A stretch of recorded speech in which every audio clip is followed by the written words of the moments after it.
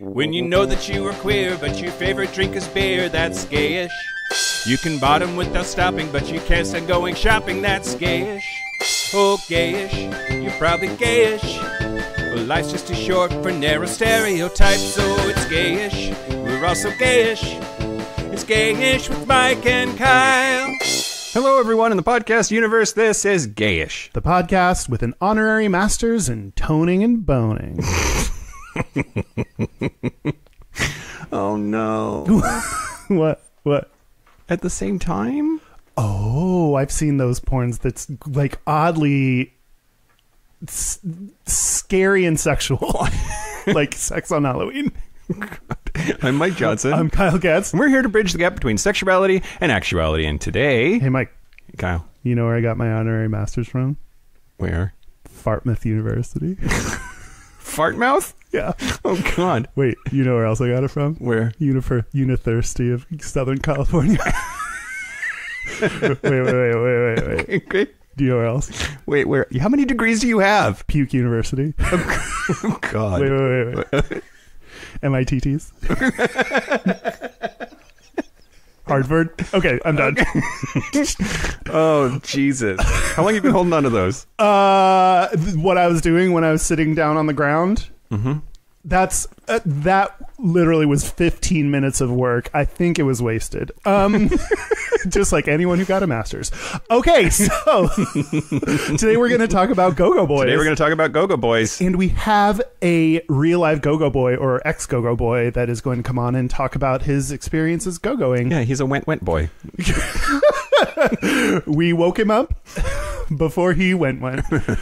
Um, But first- but first, Uh, correction. ooh, ooh, ooh. When I was talking about that guy with the giant dick that was shoplifting, Mm-hmm. you said I said that he he said that he had to roll up his dick, and you were like like a fruit. oh yeah, yeah, yeah. So my brother wrote in to say that you said Fruit Loop when you probably meant fruit by the foot or a fruit roll up. I absolutely meant fruit by the foot, or I could have gone with uh, that bubble tape gum. Do you remember that from back in the day? No, we were we were too poor to afford trash. Oh, don't I don't. Okay, that doesn't make logical sense, but I'll let you have it because it, because I want to talk about. Oh wait, was that the only correction? Yeah, that was it. Okay. Um, I want to say thank you to Patreon members, uh, Fred McDowell. McDowell, Andie MacDowell's brother. Yes, Andie MacDowell's brother, who is even more uh, better character actor, so much so that no one knows who Fred really is. um, Thanks, Fred. thanks, Fred. Uh, Christopher Leary. Leary. We had a. Did you did you have Cyrus O'Leary's where you are? Is that just what a that is. Spokane thing? There was this Irish bar in in Spokane called Cyrus O'Leary's, and it was just like nominally Irish. You Like, think that that weird Spokane bar is a chain? I thought I thought it was. Oh, really? It's. I mean, it's too cool to be a Spokane idea. oh, just like Christopher Leary. um, uh, and they get a Sam Forbes. Sam Forbes. Okay. Um, Sam Forbes of the we- Forbes Fortune do- 400. okay. Uh, in retrospect, all we do is point out the most obvious thing about people's names that they've been hearing all the time. Yeah, but Sam Forbes, he should probably donate more. That's a rich family. Hey, Sam, thanks for your money. Talk to your parents about giving us more. Um, Tubes, threebs, Forbes, fibes. okay, that's more original. Okay, great. Cyrus O'Leary has a restaurant in Spokane and a pie shop in Airway Heights, but it's not really a chain. That's pretty like family owned. And Airway th- Heights. We used to drive to Airway Heights fucking wasted to go to Denny's. Uh, remember when D and D was drinking and driving? Yeah. The- Back in my no, I never did that. Um, also, before we jump into it, I want to say thank you to Ryan in our Facebook group who posted. He he drew pictures of us Oh yeah. before he knew what we looked like. Oh yeah, yeah, yeah. and posted them to the Facebook group. It was hilarious. Mine was surprisingly accurate. I'm weirdly attracted to the picture of almost me, and I don't want to talk about it. I'm I, I have a bone to pick. Yeah? Can you not hear my hair? You talk so much about how you can't grow hair. I'm not on my sup- face. His picture, I had facial hair and no hair on my head. Well, maybe he forgot. Maybe he thought when you said you couldn't grow a beard, maybe he thought you meant a head beard. head beard. Your what is your hair but a beard for the head? I agree. no, the pictures were really great. I really, I, Yeah. thought, I thought it was an awesome experiment too. It to was- be like, well, what do we, what do we sound like? We look like. Yeah, yeah, yeah. Um, if anyone else has not seen what we look like, please send in drawings because it's hilarious. Don't cheat either. We'll know. I don't know how, um, but we will. Okay. Uh, News? news? You want to do some news? Yeah, yeah, yeah. Okay, great. So first of all, the very first Chick Fil A in the UK opened last week, and it is already closing. Goodbye. because of immense pressure from LGBT rights groups, which, unlike the United States, in the UK, if you bitch enough, shit changes. Um, so yes, the UK, the model for every country currently. Oh God, yeah, that's true. and thank you for uh, sending in how it's pronounced. It's pronounced Reedfling is the location that that happened in. yeah, the Chick Fil A was in Reading, and It's it pronounced Reedfling. great, great, yeah, great, yeah. I don't know. Quote, the individual franchises may have differing views to the family that own the company, but the profits that are made are used towards anti-LGBT plus activities, including conversion therapies and lawmaking in Uganda, where officials want to kill the gays. Yay.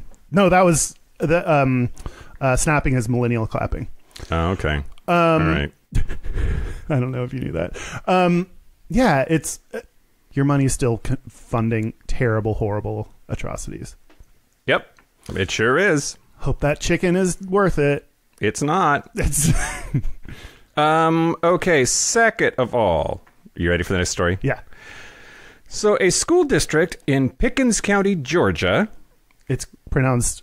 Uh, Reed, it's pronounced Reedfling.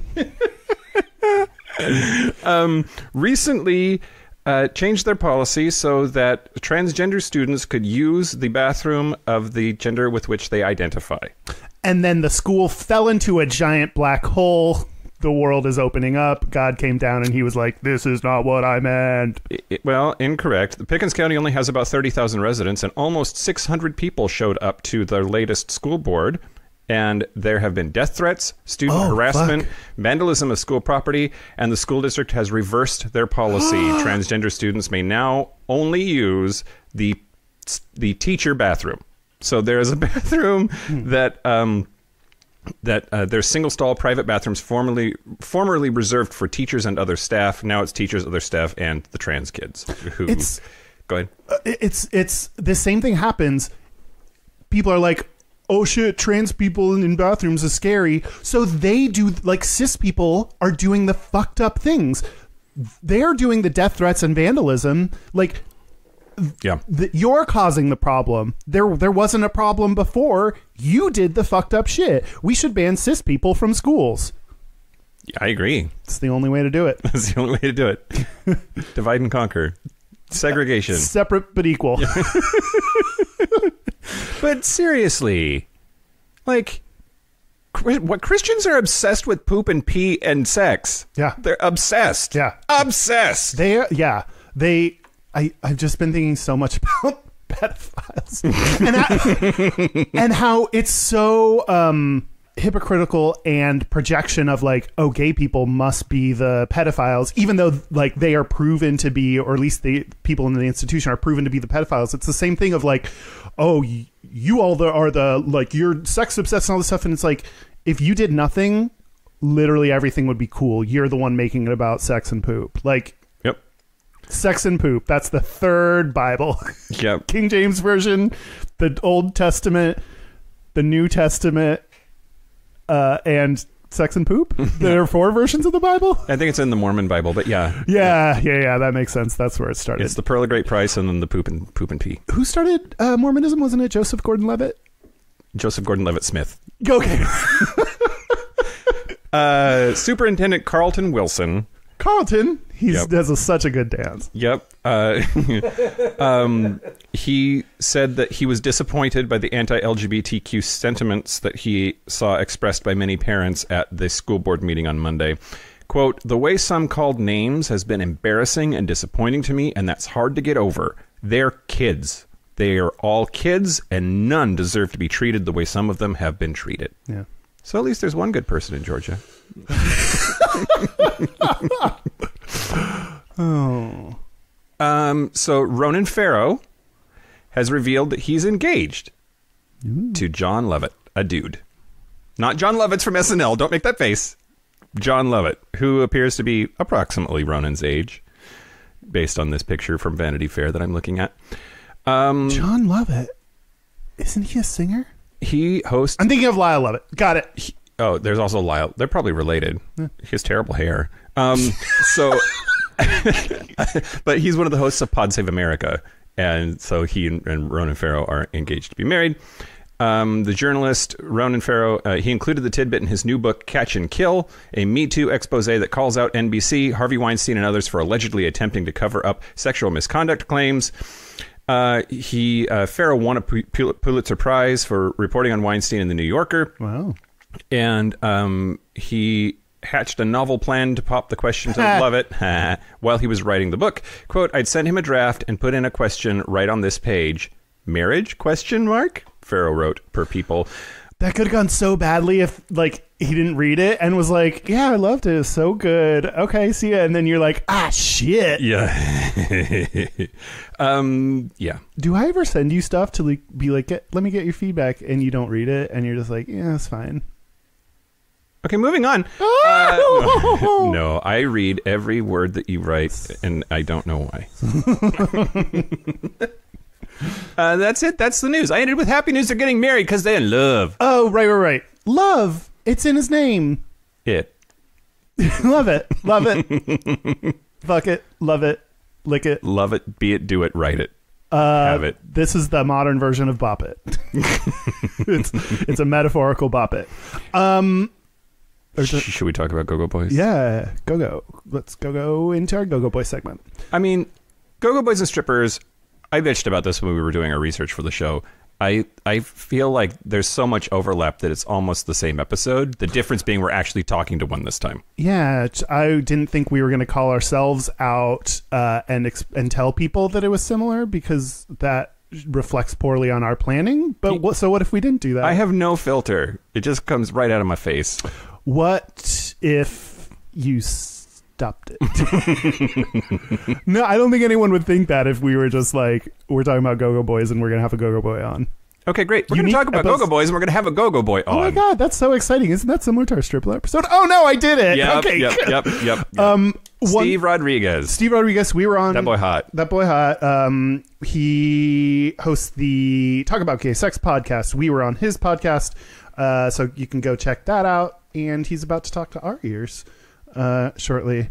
Uh, one thing I want to tell you before we do that Okay. is why do you look worried? I, I don't know. I don't know. Okay. I, I, you seem like you're in a mood today, and I'm just wondering what evilness is bubbling under the surface. Um. No, this is podcast. Me is feeling great, excited. No, Okay. no evilness. Evilness is from her personal life. Okay. you just great. have to worry about it when we turn off the mics. Okay, great. We're gonna be on the air for. Get ready for a four-hour episode, kids. Here we go. Um, there is this go-go. Well, according to this article I read, it uh, go-go goddess, gender fucking go-go goddess, Riff Riffy royalty, who uh, started this monthly party called Straight Acting Okay. to make fun of that concept at all, and people come in in let's see bearded boys in mini skirts and pastel wigs can se- celebrate their sexuality alongside female burlesque dancers trans women and men um, and it's interestingly uh, sponsored by scruff which is Aw. in the article it like talked about is an app that kind of purveys this straight acting idea like it, it's part of the problem of this uh, of this culture or contributes to it or it allows a venue for people to express this so i thought that was really cool of scruff to to sponsor this Yeah.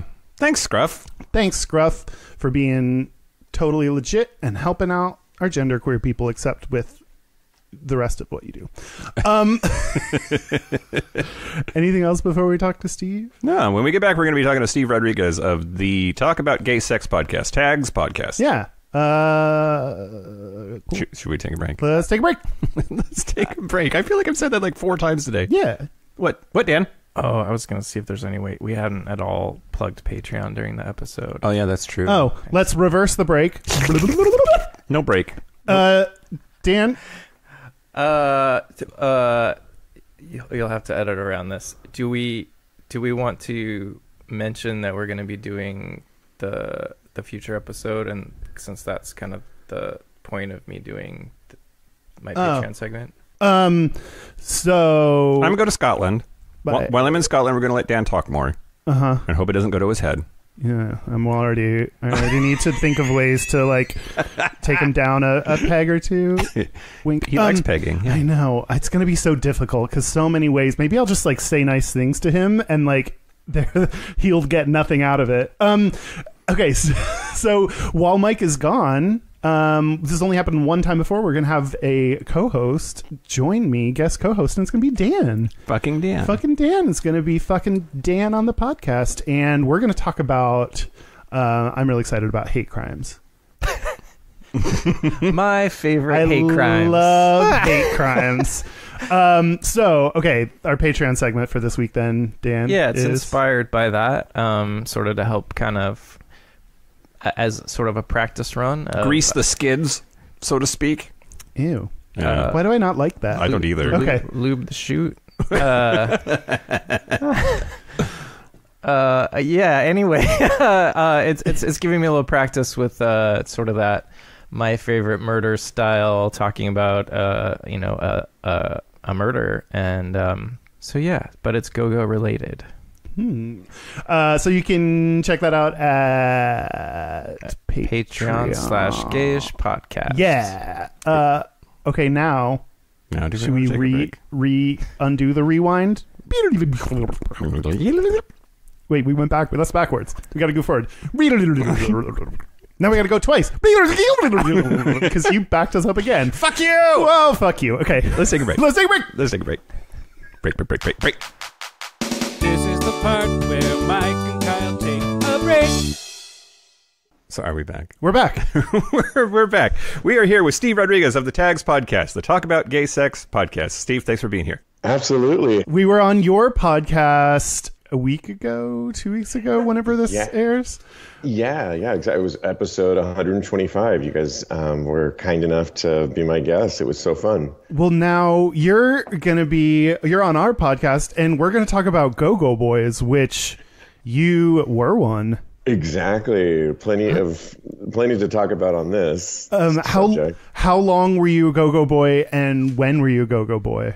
So I live now in New York City, but coming out of college uh, in the early 90s, I got into go-go dancing in the San Francisco area.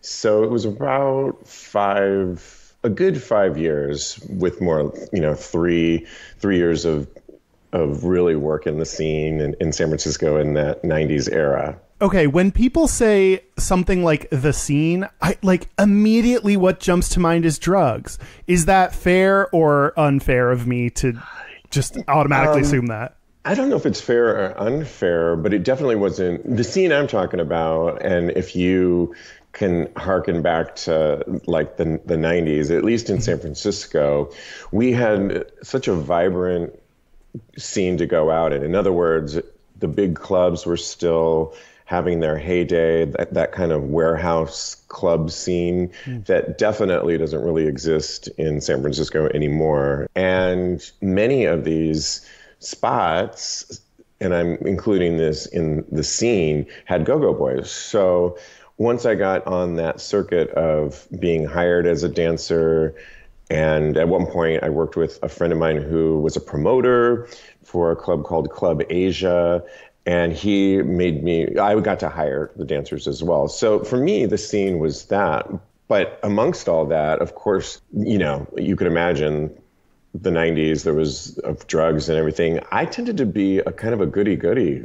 like I'm probably a little more like crazier today than I was back then. I mean, I ran around town with my rollerboard suitcase with all my costumes in tightly knit Ziploc bags and went to the gym before. And I mean, I think maybe I had a couple so they got good pump for while you're dancing. yeah, exactly, exactly. And then maybe had a couple margaritas at best, and that was that was kind of like the you know the it for me. So auditioning Go Go Boys is like my dream job. But first, I want to back up a little bit. Uh, uh, how do you get involved in that scene? Like, who does somebody just come up to you and be like, "You should be naked for money"? I did get approached from a photographer who's still San Francisco prominent name by the name of Stephen Underhill. He definitely did approach me in a cafe, and I think it was Cafe Flora, which is still there, by the way. Mm-hmm. Great place to, you know, kind of the Hollywood story of sitting at the diner, um, getting picked up that way. Uh, you should be a star type thing. and he definitely found me and photographed me that many of the photographs ended up in at the time i think he had a boy next door calendar that it made it in that uh, some of the pictures that he took of me ended up in some of the rags of the day the the club rags and so on and so forth and from that you, you get noticed at least in san francisco i did as being somebody that's modeling with their shirt off that you could probably be um, good at go-go dancing. And then in my case, the other thing was I was a gymnast in college and throughout my years and and a dancer. So I already knew how to dance and figured I could do this. And it was just another performance, if you will, that you know I think I've thought I could do.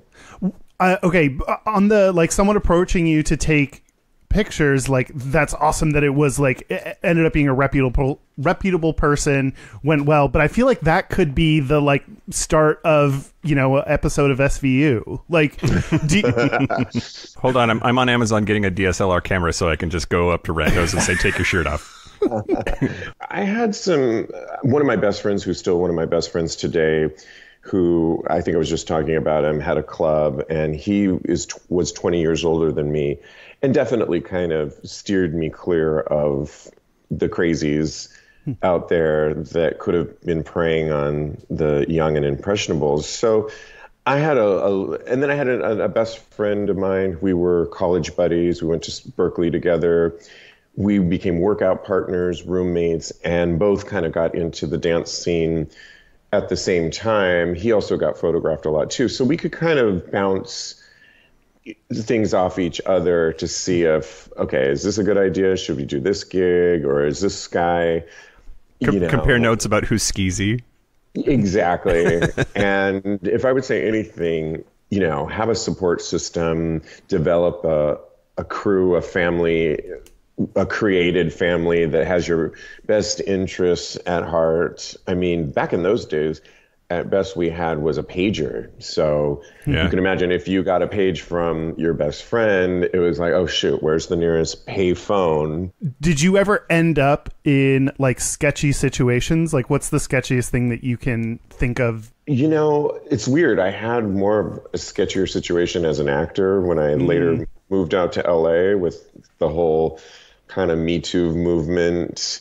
lascivious manager situation all of my go-go dancing experiences, I would have to say, were all pretty positive. That's now, awesome. I mean, did I see things, you know, sex happening backstage, which I don't know if it's lascivious or, or bad, but did you ever end up at Bryan Singer's pool party? Is the question I think.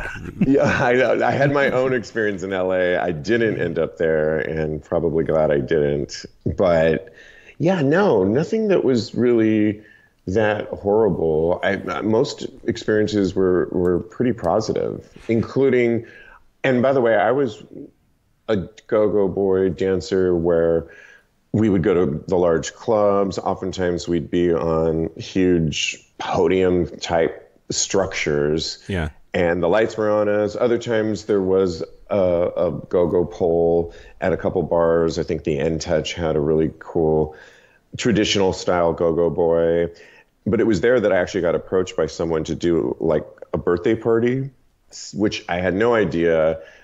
But I accepted the gig. The money was going to be good, and it required me to be more of a stripper, if you will. Yeah. yeah. And show up at someone's house and I think I brought like a boombox with music. And This sounds like a movie or It's TV Magic Mike. show It's or Magic Mike. yeah. yeah, right. I came, but again, and came out of the, you know, met in the garage with the guy who had the house, and he gave me the lowdown on who the birthday boy was and what I was going to do and when to come out of the bedroom to come out as sort of like a fi- the fireman, stripping my clothes off and performing, which I did a good job and they paid really well. But again, it was that same friend, my friend that was 20 years older, that really he drove me over to the party and said you call me when you're done practically mm-hmm. waited outside in his VD, vw bug. And so i felt like i had a good you know angel looking over me that I, everything turned out okay.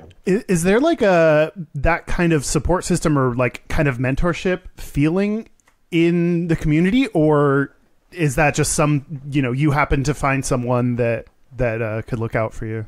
I think I had I I just developed my own support system, which I imagine so many guys do these days. You know, you have to. We kind of you have your own family, your regular family, and in my case, I wasn't about to call mom and dad, who just helped support me to go to Berkeley, to say, oh, and by the way, now I'm you know dancing at a house party with my clothes off. I don't think that would have flown too well in my Latino background. Um, So did you did you keep it a secret? Did your family know? Did you talk to your family about it? Definitely not my mom and dad. I just avoided that. And I later on I told my sister and my sister is we're best friends and she's extremely open-minded and later on she actually would come and see me at different gigs oh, and, wow. and so from that I did have that sort of family support but it wasn't as though I was telling her oh by the way I'm at this gig tomorrow night I'm there it was just when it, it happened I utilized more of my support system and my the family that I had cultivated on my own to kind of be look out for me. Yeah.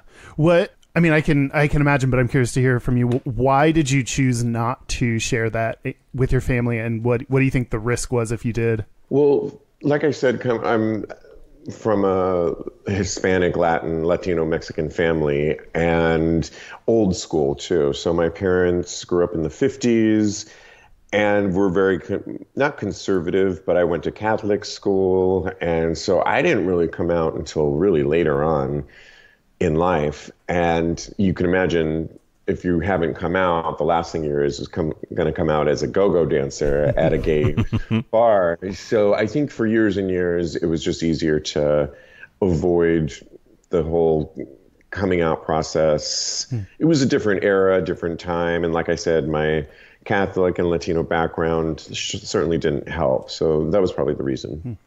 So no no judgments whatsoever, and I'm curious to know. There seems to be the people that I know. There's a fine line between go-go and dipping into porn. Was that ever a thing? That Or sex work is something I, in my mind Yeah. that it's, there's a potential. yeah, was, was that a hard line for you? Was there blurring there? Yeah, believe it or not, and interestingly enough, San Francisco has a vibrant porn production company, you know, shoot system around there. There's several porn companies in San Francisco, but for whatever reason, that none of that ever came my way, and I just think, for me, I looked at go-go dancing and the stripping that I did as, you know, making extra money, helping me through my final years of college. And for me, I had, in my mind, I had my mindset that I was going to be moving to LA and getting into acting. And go go dancing, I always assumed, you know, no one really had cameras, no one had iPhones. Yeah. And even if somebody had found that out, now remember, we're talking the 90s. It's not like what it is today. So keep that in mind. That, you know, Ellen, I'm not sure if Ellen had come out. So if you had done porn or the thinking back then that you were gay, a gay man, or had done porn, it would have, your career would have ended before it started in acting. Yeah. So, with my mind already set that I was headed towards Hollywood with stars in my eyes, I felt like I that was never even an option. And no, no one ever really, for whatever reason, approached me for that. But I feel like if they had, they did, I would have just you know, politely said, "Oh, I'm not interested because it would ruin my career." So hmm. for the career I thought I was going to have. Okay, I know we're talking about Go Go Boys, but I want to go to the like uh, on the acting side. You said like you got into a little bit of the Me Too ish things. Can you tell us anything about shitty acting situations? I mean, so much. Again, Oh, it's, no. the, it's the mid. Well, now it's. I moved in 1998. Moved in with a friend, and he actually hooked me up with this manager. The manager at the time was the manager for Sean Hayes of Will and Grace, Sure. Yeah. and and an actress, uh, Cloris Leachman. She was an older Yeah. actress. Yes. Yeah, so, so you know, these were like good credits that I was thinking, well, great. You know, this is this manager certainly has some actors behind his belt. Multiple and- names you recognize. This guy is not a schlub. Yeah. Right, right. And so he had put me in some.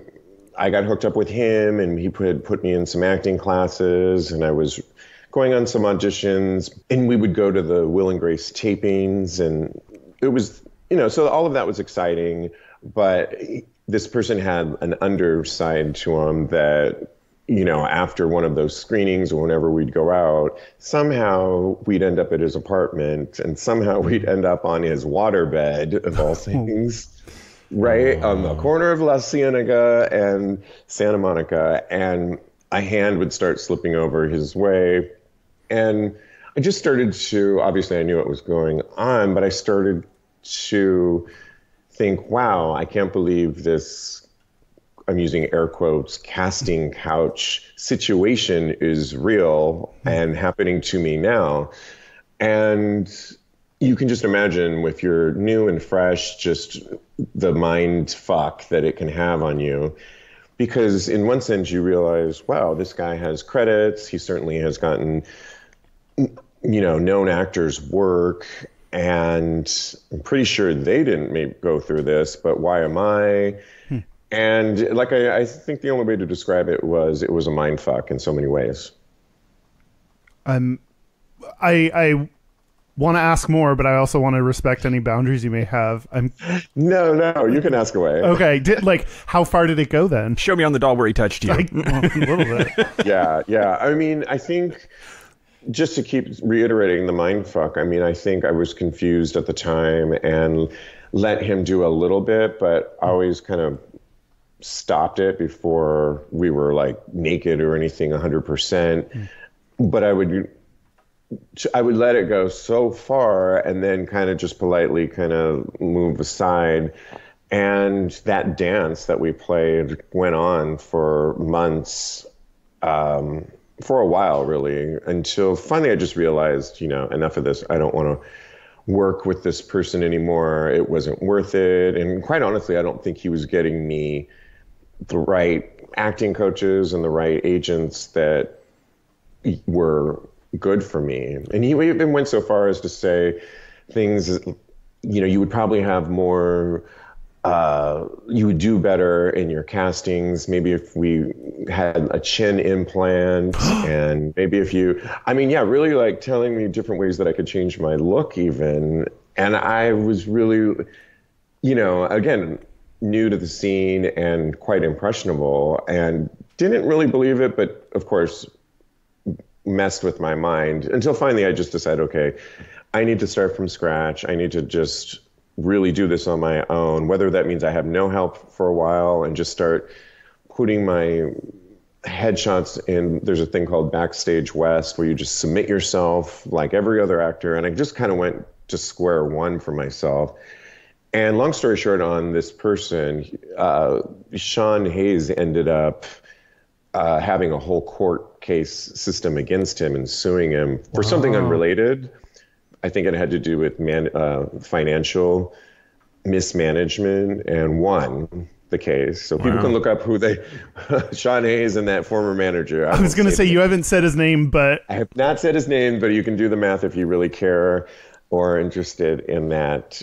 But I'm, yeah, so. I, I'm I'm sort of curious uh, if if it weren't for that power dynamic and that totally inappropriate relationship, uh, would you have been into him? Like, is was was he was he your type at all? Or No. so I, I mean, No, definitely not. And there was a in addition, there was a swarminess. I don't think I think that's a word. Sure, it Yeah. is now. Yeah, yeah, okay. Swarminess to him, a seediness to him that I didn't. Uh, kind of always the preyish kind of side to him that was he didn't you know always rub me the wrong way and Now he's John Waters in my head. I can't stop seeing that. oh God. yeah i mean i love john waters but you know and john waters has such a great hilarious personality this guy did not have that and this guy had beady eyes if you know what i mean that really paints a picture. beady eyes yeah And that's- beady eyes that's what i remember And I can. It seems like there's a false sense of security that that provides, knowing he has these credentials,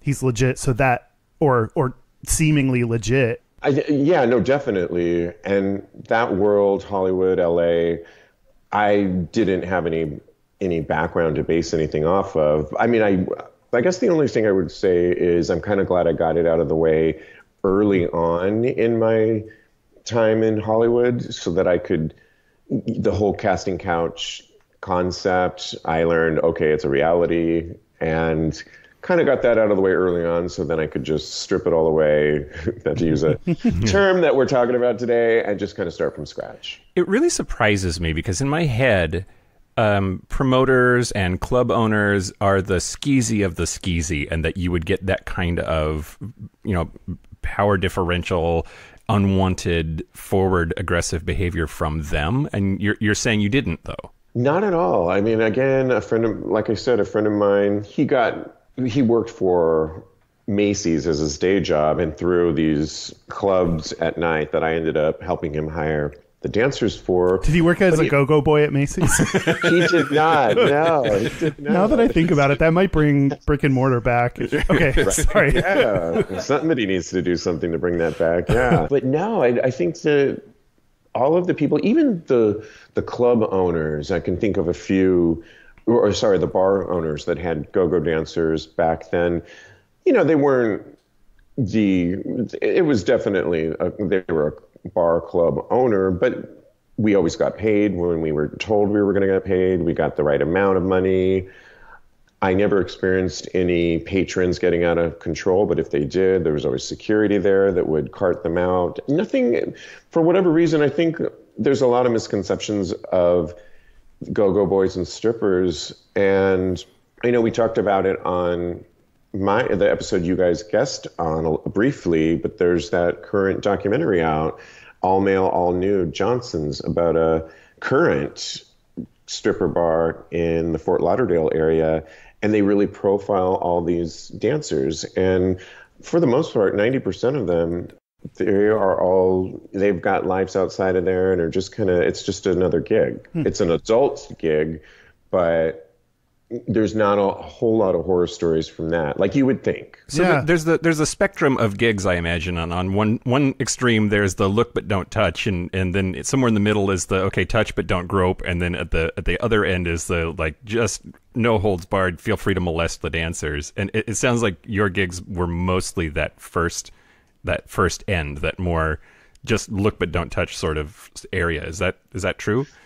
Yeah, right. And I, there's so many. It's so interesting that there is so many different layers of go-go boys and strippers, and there is apparently a difference between the two. And like I said, for the most part, I was a go-go boy. So oftentimes, so high up on these podiums that it was even hard to reach us. We were more kind of atmospheric entertainment, uh, reigning above the crowd as your entertainment source. And the few times that I did dance at bars where we were kind of closer to the to the audience or people, and they would come up and you know load your hopefully load up your g-string jockstrap with dollar bills or hopefully more. um, you know, I think that people were you could touch and feel and, and so forth. Not necessarily like your my genitals, but people were pretty respectful of all that. Hmm. And even the place where I danced called Club Asia that my friend ran, we, we were really close to the floor and we would do these performances. So we had one that we borrowed from Bangkok, Thailand, of all places, that was called the Candle Wax Dance. And essentially, we would rub olive oil all over each other, which mm-hmm. me and the other dancers, yeah. It was such a like really hot thing. We would well, we would put a tarp kind of over the whole stage because imagine we're dripping wax and all of that. So we kind of protected that, and then this whole first part, we'd have the DJ play really sexy, hardcore house music that would go along with us rubbing olive oil all over each each other's body. And then we would almost like a séance, if you will, we would light these candles and get into different configurations where we were dripping wax over each other. But the olive oil protected your skin so you wouldn't burn. It still stung, but you weren't actually burning the skin. But you can imagine so many people like watching this was their jaws were dropped like, "Oh my god, this is crazy." And then we would make it interactive where we'd hand the candles to audience members and they could drip it on us. So it was really erotic and I guess interactive, if, you will. Where was this event? Does it happen every year? we're we're going to get tickets. well, you, we don't do it anymore. Somebody should bring this back. To anybody listening out there, dancers, because these days when I see dancers, it's like move side to side, and there's so many cool things you could be doing. But you could go, uh, Mike, to Bangkok, and they actually do it. That's where we stole it from. The only difference was, I think, they did it to themselves. So in other words, they would put a dancer would just put olive oil on his body and then kind of erotically drip it over himself. We sort of made it where we were dripping it over each other and the wrestling bit of like the rubbing olive oil and getting entangled over each other's body, I think made it more interactive. And then obviously handing candles to the audience really interactive. Can you describe everything you just did again slower? and just That's just the after show. okay. um, so you've mentioned, you know, kind of where you were in time in the '90s, um, and nowadays I see so many go-go boys that then also have an Instagram, or people can take videos of them when they whenever they want. What are your feelings about? You know, do you uh, do you wish that was the case to get out there more, or are you glad people didn't video every uh, thing that you did? I think I'm glad that we didn't have all those because those, you know, the cameras and the phones, at least in that era, I wouldn't have wanted that to get out there so much because I would have thought, I know I would have thought, that this could potentially diminish and ruin any chance I have of ever getting started as an actor in Hollywood. Hmm. So I, you know, I think that's totally different today. These days, I think, you know, all these it, it almost doesn't scar your career anymore. And certainly people are out and having thriving acting careers. And so the other thing is i liked the fact that it people were in the moment. So people's phones weren't up. It was it was what it was. So if you were out and i was dancing and i was looking around at people and they were tipping me people were focused on having a good time and we were their entertainment and everything was really in the moment and it was what it was. I don't think anybody took it too seriously. It just was a fun release that everybody was sharing in where these days you know i'll go out sometimes and i'll be looking over at the next guy and he's got his scruff open mm-hmm. or his Grindr and i'm like well, you are at a bar right now. Can you not pay attention to what's going on here. Yeah. Now, mind you, I've had some friends or my my co-host Jeremy tell me that well, sometimes they're on their phone because they're trying to see who's else is in this bar that maybe they can connect with. So, I mean, there's that too. Yeah. um. So I feel very uncomfortable with, like, with Go Go Boys. We talked about this on your show as well. Like, I even tr- like I look, but try not to stare too much. Or I like the idea of walking up and tipping someone to touch them, even if I would want to. Is very uncomfortable to me.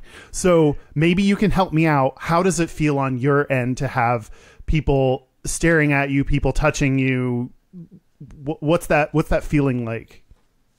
I mean, my job or my job was as a dancer a go-go boy was to entertain. And if I wasn't, if I'm not part of that job is to be looking out in the crowd and particularly when you're lowered to the ground or you're on a strip pole a you're not just doing it for your health you're doing it and typically most of these bars and clubs or even back then you you would got you would get a little bit of money per dance. So i think we got three sets for $75 so $25 a set.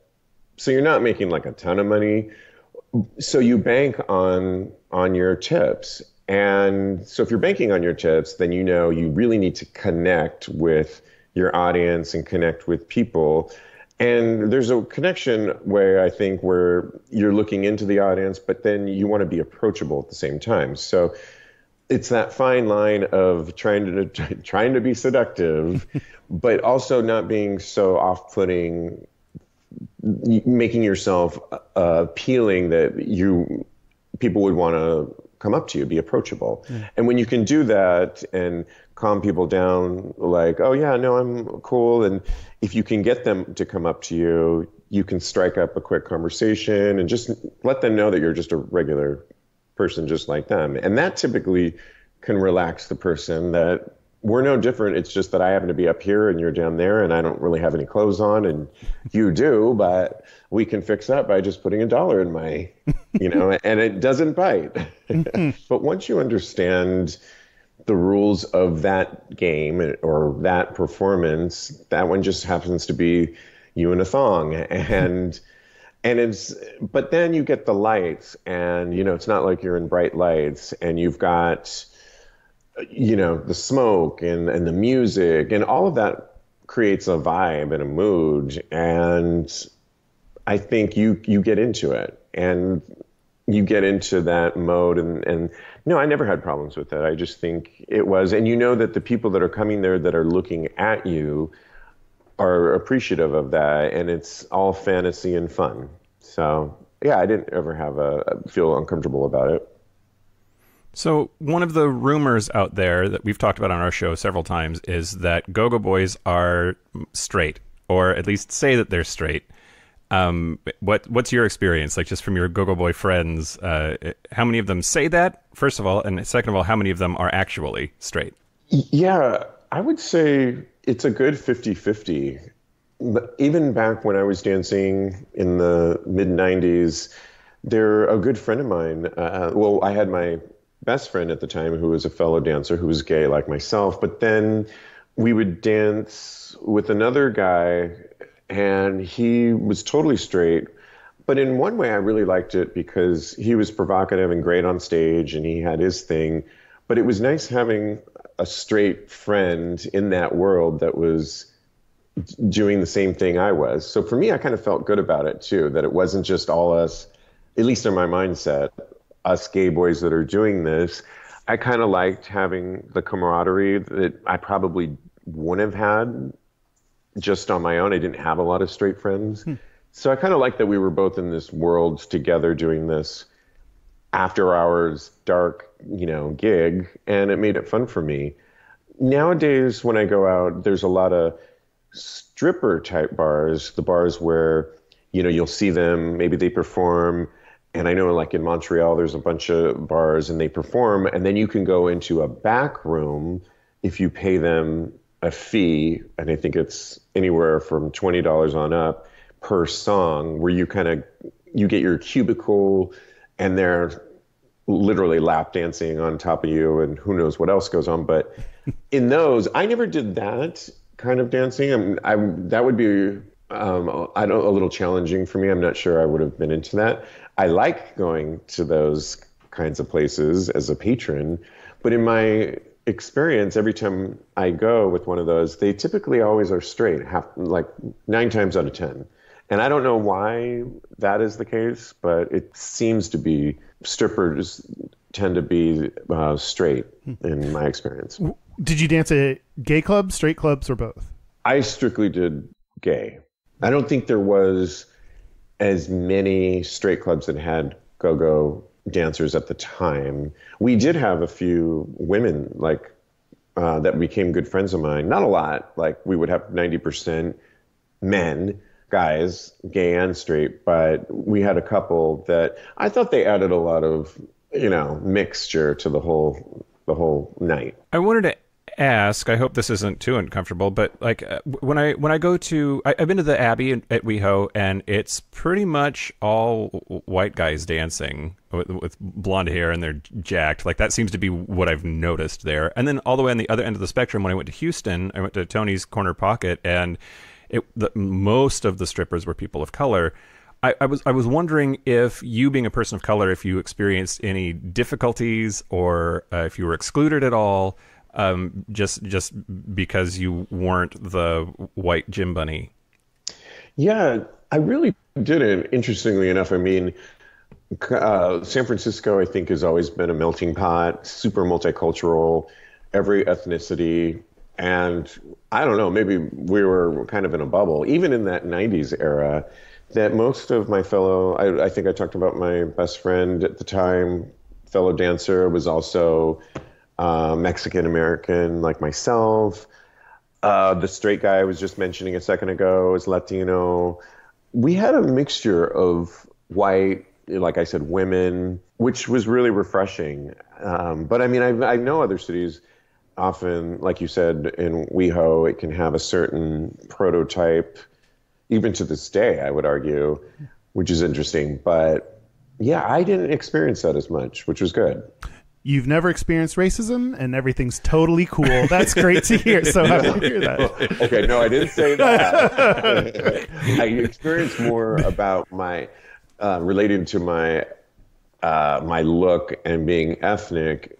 Oh, believe me, I have stories for you galore we don't have enough time for that and definitely in the acting world for sure. It's so- but it, in this microcosmic time frame when i was a dancer and again three to five years roughly a little bit of a blur i didn't have experienced that very much. It's so interesting because i mean I'm, i know mike already said it but kind of my picture my stereotype of go-go boys and clubs are that they would be the place where uh, you'd have racism, you'd have uh, people trying to get you into uncomfortable situations, and it's the the place, the acting or other areas that are supposed to be above board that are the places you experience it. It's just a, a interesting dynamic of what you would expect versus what you'd actually get um, from those two different worlds.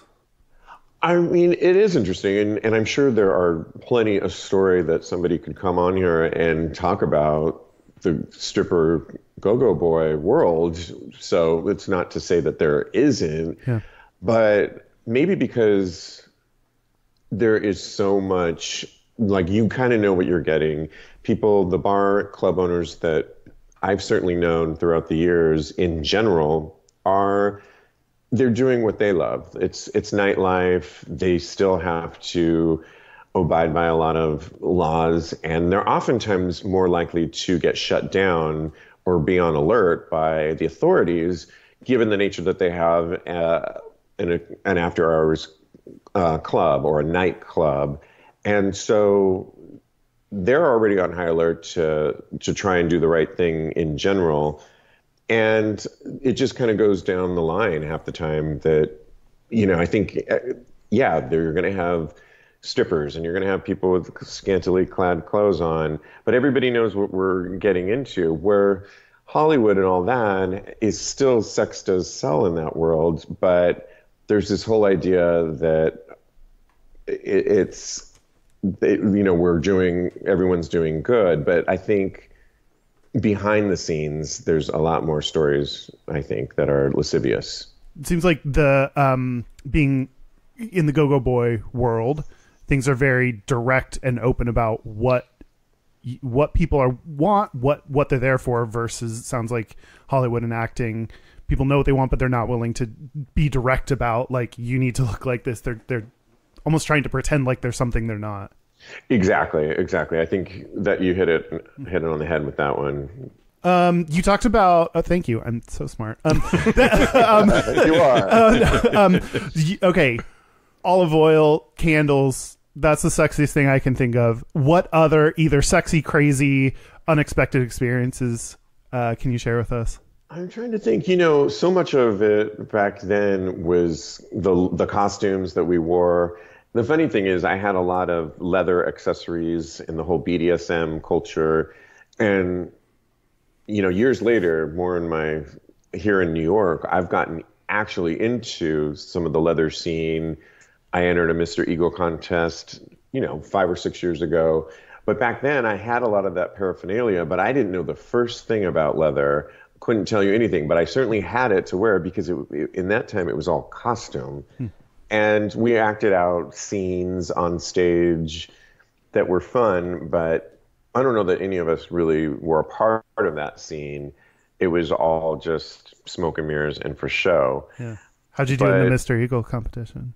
I, I was runner up the year I Wow. entered. So not bad. Yeah. Congrats. yeah. It was a fun experience in general just to to leading up to it. I, I don't regret it. Um, we did the other dance that we did that was kind of a lot of fun that we also imported from Bangkok. Who knew, right? was the Towel dance. And you can imagine just that we would go out in a look and then we'd strip down and then we'd pick up these towels and we were clearly making it obvious they were taking our jock straps or G strings off underneath. Mm. And we were pretty low to the floor, but you could kind of get a look, or we would just put the towel in our front side and you could see the back of us.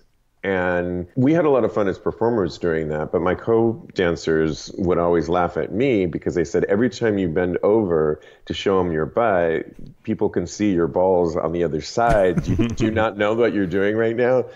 And I was like, oh, I didn't know that. But then it became a thing like, oh, well, but that's okay. I don't mind showing that. It'll be my thing. But Balls, balls. Yeah, you could see it from the other end. And so the whole dick, and yeah, and I was like, oh, okay. I didn't realize that. But hey, if it makes me a an extra buck or, or I'm all for it. Uh, do you have time for a couple of listener questions? Sure. Yeah, we, we tweeted out that we were going to be talking to a go-go dancer and and uh, got a couple of, of questions. So, uh, number one, how often are go-go boys padded versus all natural? Padded, you mean like? Yeah, I'm like some, assuming- some I go to I go to some places and there's always like one or two dancers that's like, sweet Jesus, what have you put in there? Because that there's no way that's a dick, but maybe maybe it is. Maybe there's just some giant ass dicks out there. There are some giant ass sticks out there, I would argue, and we do have tricks of the trade, as you can imagine. Mine was always the um cock ring that you could fluff up even more. And if anyone knows anything about a cock ring, takes the blood, gets the blood going when you get it uh, somewhat excited and kind of. My, that was my push-up bra moment, if you will, and it just helped. You couldn't do anything for the butt because you either had it or you didn't because you're either wearing a thong, which you can just see the cheeks, or a jock strap. So you, you have what you got there. You definitely worked out a lot harder, like I talked about earlier at the gym, earlier to get that final pump. Hopefully, you were working out during the week leading up to the gig. But mine was always that. Now, I've heard of a couple other dancers that'll tie off their dick. So I have a friend of mine who's a current dancer here in New York, and it looks like his dick is gargantuan. I mean, it's like an Eiffel in his thong.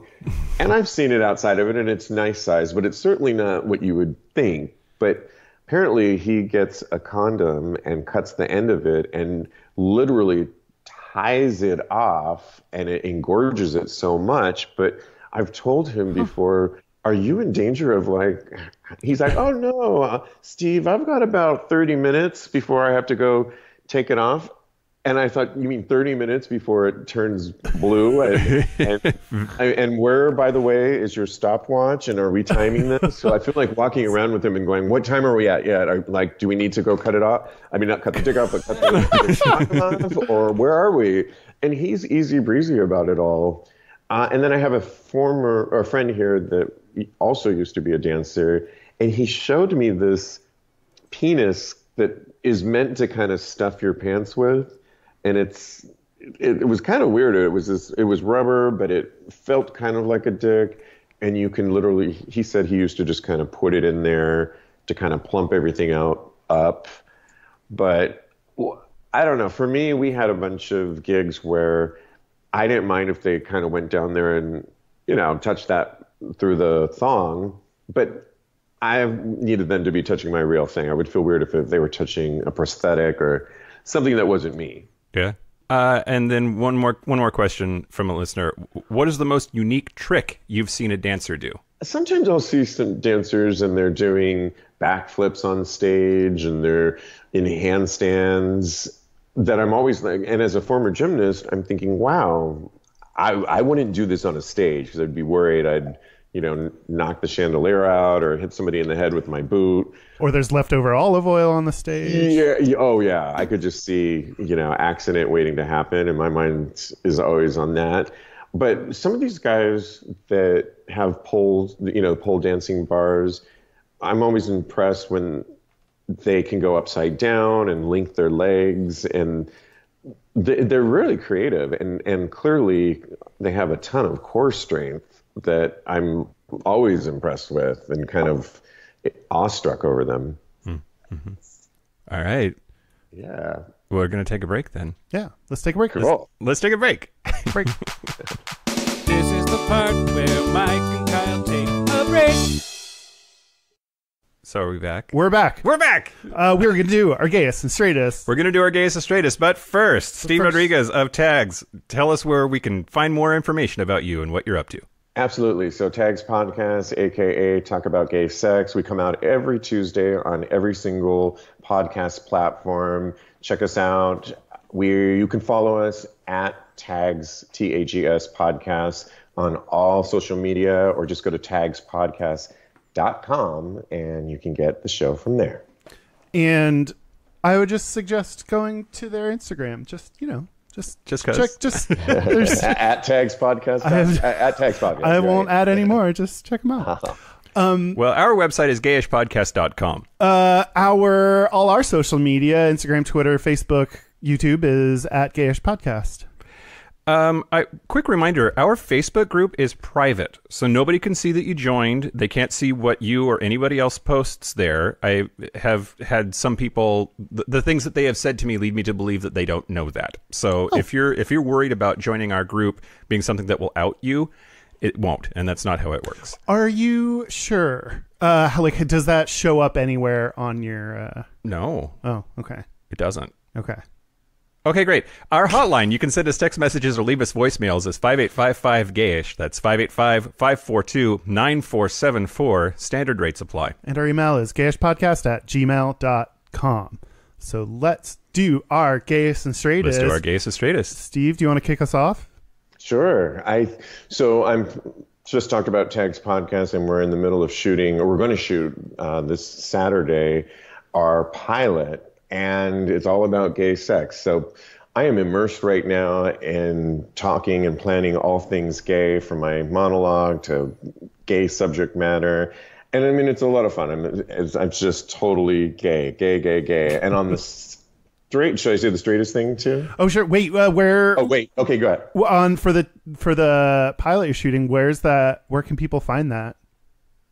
So we're shooting it and just going to produce a really good pilot and take the rest of the year to uh, edit it, and then we're shopping it around beginning in January. So I'll have more information on that. Okay, yeah. Let us know where that ends up and where people can check it out in the future.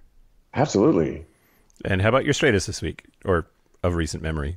The straightest thing is also the same thing. So when you're producing something, I'm doing all the gay stuff for content wise, but I'm also working on the production side of things as a crew member and working with the cameras and the lights and the techie nitty gritty stuff and working with a lot of straight folks on the production side, which I love that too. So it's getting my geeky production crew hat on that to me can feel like straight. Yeah, yeah, yeah, totally. Um, my uh, gayest is that um, I was out at a bar uh, this past Friday, and someone complimented me on the Britney shirt I was wearing, and I was like, "Thanks," and then was like, "You know what? I want more of this." I ordered a couple new Britney shirts and coasters that say "Oops, I'm drinking again." That's really gay. I know. I'm very excited. I think they my Amazon package just arrived. Um, my straightest is I was talking to our favorite fag stag, Doug and um, one of my friends and coworkers, and he was telling me about the uh, engagement shower gifts that he started to receive, including what he called a chip and dip, which is like for chips and dip, and it's just like I feel like straight people have all these things to make themselves feel better about what they're doing or appear fancier. It's like, did you know? To be a couch potato? I know, yeah. Like, did you know that chip bags come in a self-serving container and it's the bag? Like, you don't need to add any more layers of items. It seems like they invent things just to give each other at That's showers. just lazy. I, that's mine, Mike. Oh, jeez. Well, the straightest thing about me this week, um, I don't know why I think it's so straight. Maybe it's because it's mostly straight bros that do it. But I went to an improv show last week, um, and our friend Matt, who's a straight dude, did his one man show about his eighth grade biography. It was adorable, but it was like I think Kyle and I were the only gay people in the whole room. Yeah, probably. Um, and then the gayest thing about me this week, I went on a Daniel Radcliffe bender. what does that include? Uh, so I I watched uh, I watched the movie Horns from 2013, and I watched the movie Swiss Army Man from 2016. And it started just as like I wanted to see his furry chest because apparently Harry Potter grew up and got kind of hot a little bit. Um, and then and then they turned out to be really good movies. But it definitely started because I was like, I want to see I want to see how naked he gets in these two movies. I love it. That's pretty gay.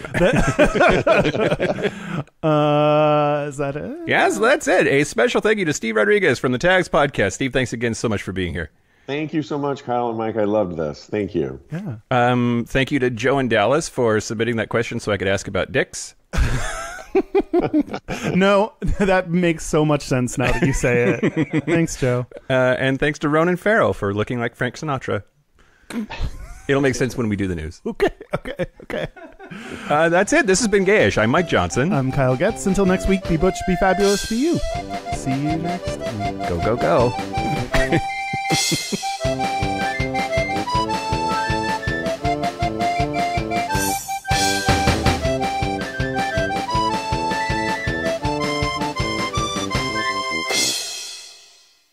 That whole like hot wax olive oil thing, like holy shit. let's make let's make that happen.